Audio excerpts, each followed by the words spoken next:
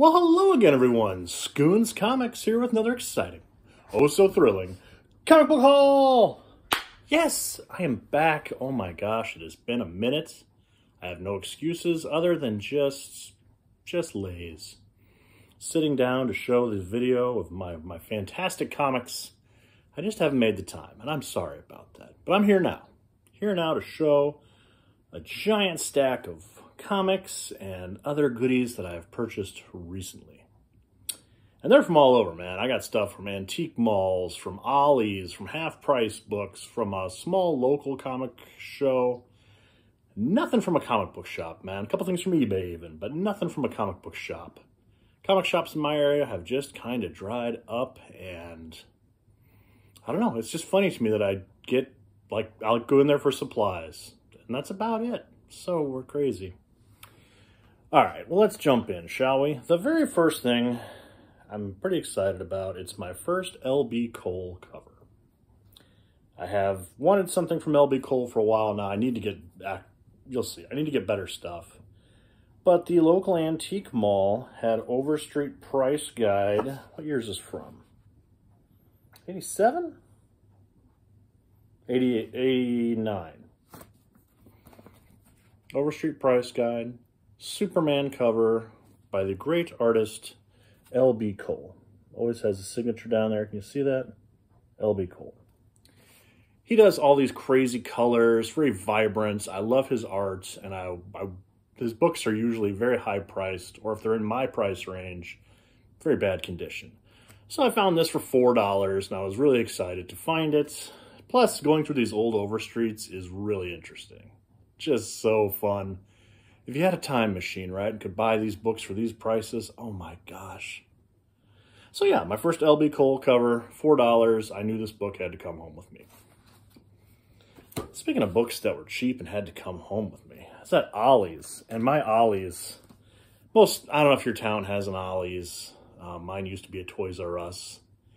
And it's just crap everywhere, just stuff. And their comic selection um, to say hit or miss would be very generous. But they had a bunch of new trade paperbacks and hardbacks a couple weeks ago, including one copy of Captain America Golden Age Omnibus Volume 1. This thing retails for 125 They had it for $37. And I, I had to. I had to get this. This is amazing. This is the first 12 issues of Captain America. Jack Kirby, goodness. Joe Simon. Yeah, I I only read through a couple of issues. Um, Captain America smokes a lot, smokes a pipe. I found that very interesting. But man, it always it always pays to check in with Ollie's because, and I'll tell you what, they had a bunch of Marvel milestones. Nothing that I wanted, like stuff like Dazzler and Black Panther, like leader runs, real oddball stuff. But they had like 20 of those and they were gone. Like this is like on a Wednesday I went, my lunch hour. Went there over the weekend. All that stuff was gone. All of it. So very happy I grabbed the only copy of this that they had. So that's really exciting. All right. How about some comic books in this comic book haul, huh? A key for me, and we all know, I love me some Bronze Age Marvel. And my shirt kind of has uh, this color scheme. Amazing Adventures number 18, first appearance of Killraven. Got this from a local comic show. They had some deep discounts. I think I only paid like $11 for this. It's not perfect, but it, it presents really well. And it's a key I didn't have. I always pick up Bronze Age Marvel, which is becoming more and more expensive. Even just common issues. If they're in good shape, they're pricey, man. So, very cool book. Very happy to have it. The worst costume in comics by far. Oh my gosh, but awesome. All right. Um, pick this up. Again, this is the local, I always call it local yokel. The local yokel comic book show. Every quarter, um, they come to the town. Local hotel, one one room, and this one dealer pretty much dominates it. He's the one that hosts the event, and he has all these long boxes, 30 long boxes and they're basically five for a dollar, right? You just, the more you buy, like I bought, I got this huge stack and I spent 20 bucks, okay? This was part of that stack. This is um, a Wizard, one of those comics that came in Wizard magazine. This is Open Space Zero. Just have some old Alex Ross art. So that was a cool, um, you know, Alex Ross, I'll pick stuff up if it's cheap. I love Alex Ross. Stuff's amazing. So that was a cool book. And I love giveaway comics, comics that were promotional things. And I found this one and I couldn't resist. Mickey Mouse and Goofy ex explore energy conservation. Look at that. That is so goofy. but it's great, right? Like, I don't I don't know how to not buy things like this if they're cheap. Like if you find this, like I know some people just pass this right by. They're so fun. You have to have fun with your comics, man. If you're just buying keys and speculating on books, all right, like yes, I of course I just bought a, a key. But you got to get books that are fun, right? This is so fun. Oh, made me happy. Here's one. My girlfriend's a big ElfQuest fan. I'm. It's okay. I haven't really read much of it, but um, they had the first issue of the Marvel run of the Epic Comics run for five bucks, so I picked that up. Pretty cool. And then I found Logan's Run number one, also kind of beat up. But George Perez art, George Perez, um, those of you haven't been following, George Perez is dealing with some very serious health problems and appreciate the man uh, and his art. He's, he's one of the great storytellers of all time and very happy to get Logan's Run number one. Bronze Age Marvel. Never seen the movie. Heard it's kind of goofy. Here's another book I've been meaning to read forever, and this is like the latest version of this. Uh, this is Mage, The Hero Denied, issue one from Image. Matt Wagner's Mage. I always hear good things about it. Kevin Smith always goes on and on about it. Kevin Matchstick, lead character here. I really don't know a ton about it, but they had like the first three issues of this. So I picked them up and give them a read. It's in my ever giant to read pile. Speaking of stuff I got to read, uh, first two issues here of Fantastic Four. I have no idea what volume anymore, uh, but Matt Fraction and Mark Bagley on Fantastic Four. This is a series that ran side by side with FF by Matt Fraction and Mike Allred, and I really enjoyed that series, so I picked up the first two issues of this from the quarter bin, so I'm happy to give those a read. Read, Reed Richards. I am on fire today. I also like to pick up last issues. Um, gimmick I stole from Chris over at Read Comics, Read Comics 81. He was always picking up final issues. So I got Justice Society of America, last issue of that, issue 8. You know I like, you know what, and I don't pick up many currents, like in the last, when I say current, last 20 years or so, last issues of books for the most part, because they don't have letter pages anymore. There's no big letter from the editor or the writer or anybody like, you know, oh, you had a great run. Thanks for supporting us all these issues. Want to thank such and such. It's a conversation. I missed that. And a lot of these last issues don't have that anymore. Um, but that one did. And speaking of last issues, I've been looking for this stupid book. not, not intensely, but here's FF number 16 that I was just talking about. Matt Fraction, Mike Allred on art. God, look how beautiful this comic is. I had this whole series except for the last issue, and it was one of those like, well, I'll find it at a comic show. I'll dig it up. Ne never, never, never could find this thing. Excuse me. ah, editing, good. Anyway, finally found this in a dollar bin. I was like, yes, I can finally finish this story. I'm so goofy that I won't just buy it off eBay. So I'm like, eh, I, I know I'll find it five years later, found it. Here's the final, oh, that comic just slid right off there onto the couch, but that's okay. Final issue of The Pulse. Big Jessica Jones fans, that was pretty cool. And the last issue of Justice League America. I think you can see why it's last issue, because that is not the Justice League I know. I know Fire I think that's supposed to be ice. Uh, obsidian, maybe? I don't know. Uh, but that was right before Grant Morrison's run, just the final issue, so that was pretty neat. Boy, I remember this book being really hot in the Wizard days in the early 90s. This is Ultraverse Premiere Zero, the Jim Lee cover. This was like a mail away, if I recall, and I found this in the quarter bin. I said, oh my God, 1995 Brian really would want this. So happy to pick that up for a quarter. Uh, and then, you know, again, I always love when I find comics I knew nothing about, right?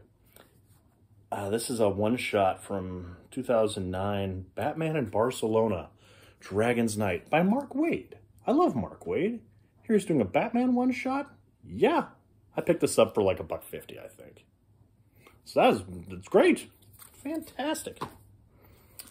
Last issue of Batman and the Outsiders. Very cool cover. I think I might have one of these already, but it was again in the five for a dollar box. So yeah, I'll pick it up. Oh, and then I dug and I dug and I dug at this show. One of my one of my um, qualifiers for a successful comic show anymore is if I can come home with at least one DCU variant. You guys got almost 11 minutes into this video without me saying DCU variant. But there it was. And lucky for me, they had three at this comic show, the entire comic show. Again, this is one room. But I only found three, and I was happy to find them. They're not in the best of shape, but I didn't have any of them, so that was great. So Detective Comics 694 DCU logo variant. Look how pretty. I really need to get that on a t-shirt. Um, again, for those of you coming late to the party, I'm obsessed with these books.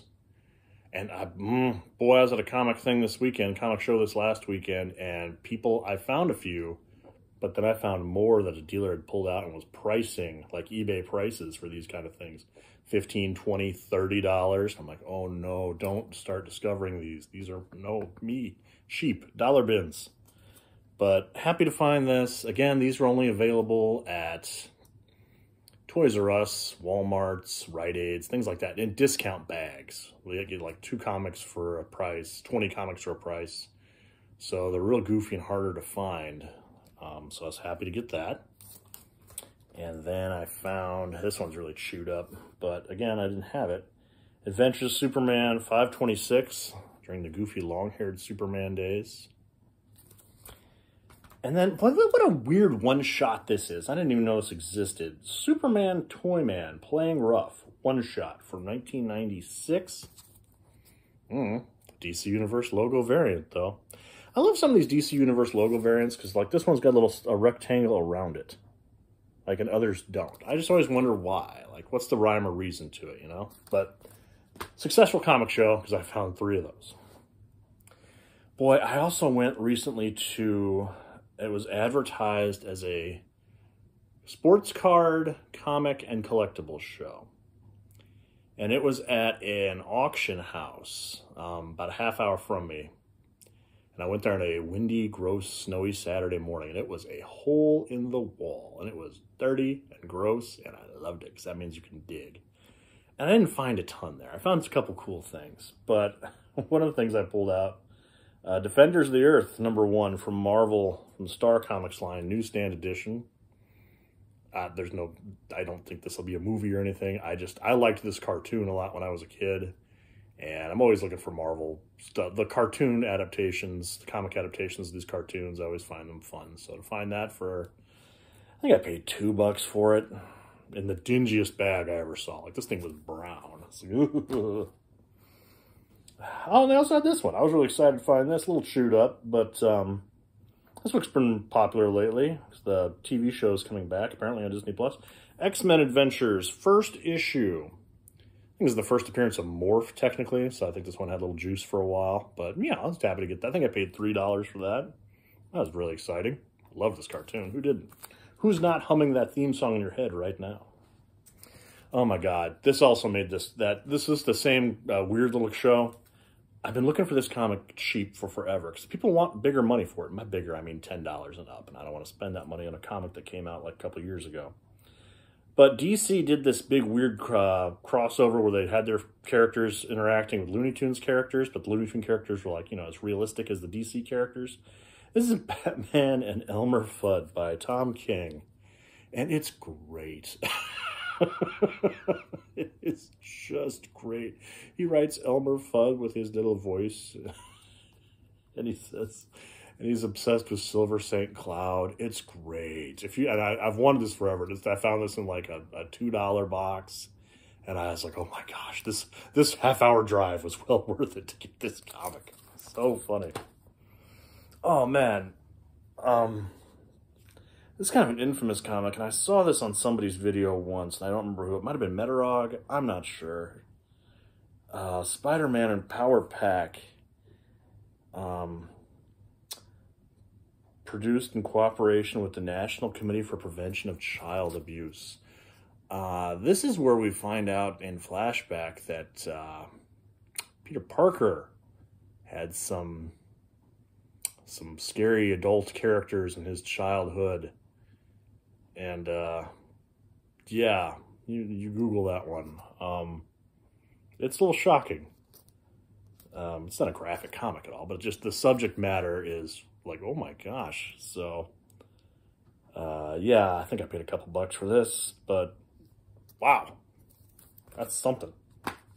And I keep chipping away at this this run, and this book is chewed up. Um, I keep trying to pick up these Marvel 25th anniversary covers.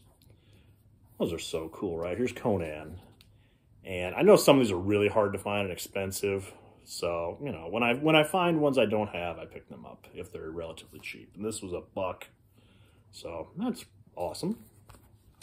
Half price books, man. I went to half price. So, I went to half price books a couple weeks ago. And they had the second uh, volume of FF, maybe it was the first volume, I don't know, where Spider-Man joins the Fantastic Four, we think Human Torch is dead for a while, so Spider-Man's in there. Future Foundation, okay?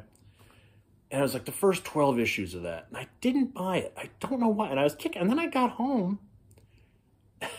I'm getting ready for work the next morning, and I remember I was brushing my teeth, and I was like, why didn't I buy those books? That's a good deal. Why didn't I buy those? That's, that's a good read. I should have picked those up. So I went that next day at lunch. This is like a Sunday, Monday morning. I, I, I went to work at lunchtime. I ran out there to pick those books up. Some bitch, those things were gone. Somebody bought them already. Who else is out there hunting besides me? I, uh, but I was fortunate because someone had just, um, I saw at the little table at half price. They, they are, I'm there so much. And Those people, so they either love me or hate me. I know a couple of those people are annoyed because I come up to their table, the, the, the counter where you can sell things and I'm always poking my head back there looking for uh, comics, and uh, or I'll ask like, "Hi, have you got any comics back there? Anything I can take a look at?" Majority of the people are very happy to let me look around. A couple of these ladies, uh, we haven't priced them yet. They're they're not happy, and they're they're correct. They're still they're not supposed to show me yet, I suppose, but with no harm in asking. But a couple ladies I know get annoyed when I ask. Anyway, um, someone had just sold a short box, and I was allowed to go through it. They hadn't even, like fresh. I hadn't even looked at it. Nothing really big in there, but there was the first eight issues of this series. And I already have the first issue, I think, a couple of times over, but these are all buck fifty. Gotham City Sirens. Okay. Paul Dini uh, writing here. So I got first issue, second issue, and I think these are pretty popular. I haven't priced them recently, but eh. This one's by Scott Lobdell for some reason. I don't know why. Third issue. And the fourth, I don't know who did that cover, but fourth issue. And the fifth, all the Harley Quinn fans out there getting all excited about these covers. Sixth issue. And the seventh. And the eighth. Buck 50 each. Not the FF books I wanted, but these are these are pretty cool. They also, I haven't taken this one out of the bag yet. Uh, they had a chewed up copy of New Teen Titans 21, which I'm I'm pretty darn sure this is the first appearance of Brother Blood. Half price books, $1.50. Uh, very beat up, but key comic. Uh, George Perez again, $1.50. Oh yeah, I'll pick that up. All right, now this is what I got left here. Just a handful left here, people. I'm already at like 20 minutes. A lot of talking for me today. Think I'll have my beverage again. So manly, right? Look, colors. Oh, well. So one of my pet projects, all my stuff is pet projects, I swear. I'm, um, I'm trying slowly but surely to pick up all the Jack Kirby covers from his run from Marvel in the 70s. When he came back from DC Comics, when he did Machine Man and Black Panther and 2001, a bunch of different books. But he got Devil Dinosaur.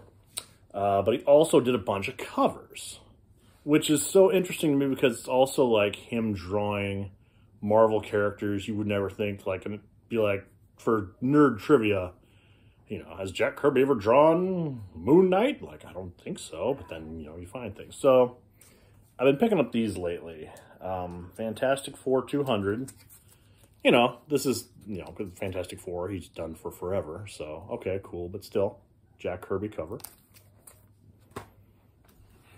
Then there's this one, man. I got this one off eBay for cheap, and I love it. Uh, Marvel 2 and 127, The Thing versus Deathlok. Who knew Jack Kirby ever drew Deathlok? 70s Marvel character. There he is. Jack Kirby's own. That's great, man. So I was really happy to get that at a good price. I love that cover. And then he did um, three issues of Ghost Rider covers, and these are all kind of beat up, but you know, it's Jack. Here's Ghost Rider 21. Jack Kirby's Ghost Rider. I just I just want to picture the meeting where they're like not the meeting, but the little snippet where I'm sure somebody's like, Jack, we need to draw Ghost Rider. And I'm wondering if they had to explain to him who Ghost Rider was. Skull, heads on fire. Like, all right, whatever. Um, that's you know, that's just great Jack Kirby cover. And he also did issue 22.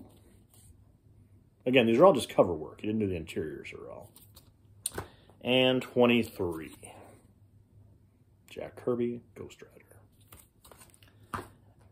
So I'm picking those up more and more when I can find them on the cheap. That's a fun thing to collect. So lately, if a comic show has um, the DC Universe logo variant and a Jack Kirby Marvel 70s book I can come home with. I'm pretty happy. Then uh, one of my local antique malls here has always had the same selection of comics. I stop in there. So there's like there's like five antique malls all like on top of each other, just over the border in Michigan. And two of them regularly have new inventory of comics. So I stop in there quite a bit. Too, too much, quite frankly.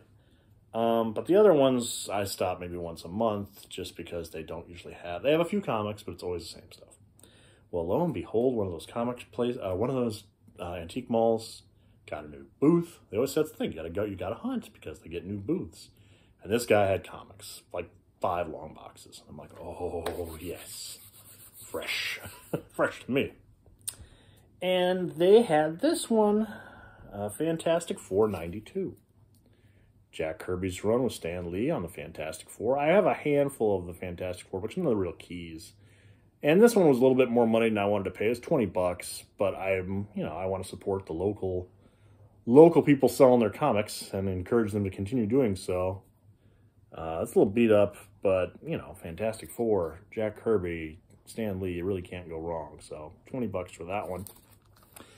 And then the last book I'm going to show this is so cool. Um, this is Navy Combat number 19. I think this is from 1951. Well, anyway. So here we go. And it's got, the cover has all these various comic artists and Stan Lee as these crewmates, right? What we got on here? We got, uh, God, I forget everybody's first names. George Ward, Joe Manley, Mainly, Man Ely, and Joe Severn. I saw that Stan Lee one for sure, and I was like, oh, wow, that's really cool. So I picked that up. This cost me 15 bucks, but a really cool comic. Um, and, an, you know, pre-Marvel Marvel uh, book here. These war books from the 50s are always really fun to find. So that's a really cool book. I, I liked I liked when the I like when comics have a little personality, and I like that they assigned people in the Marvel bullpen or just people in the industry that they put them on the cover here, and I thought that was pretty cool. So, that's what I have this time, guys. I have I have a giant stack of books to show, but I'm not doing that now. Uh, I gotta have some fodder for maybe it'll take maybe it'll be less than a month before I post another video. Wouldn't that be amazing? So hopefully I'll be back soon and show those off. I got a lot of cool stuff. But um, yeah, hope you enjoyed. Leave comments. Let me know what your thoughts, and I will see y'all soon.